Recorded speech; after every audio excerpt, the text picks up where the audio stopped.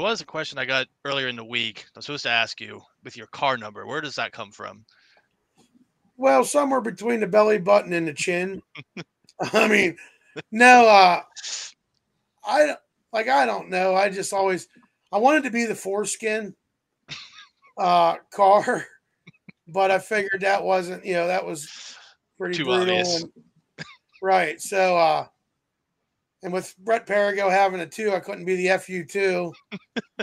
but no, it, uh, Uh, Brett Perigo's the one that told me to ask you that question. I'm pretty yeah, sure. I always say it's because of my wife's tits, but you know, it it's really not. It just something I thought was cool and and stuck. And actually, in, in lawnmower days, I was the 38 double D, and Dave Conrad was the 36 double D in the lawnmowers. So we just it was cool. Just kind of rolled with it. Yeah, and it's like I'll be whatever number. I don't. It don't numbers don't mean really a whole lot to me. Fair enough. Uh,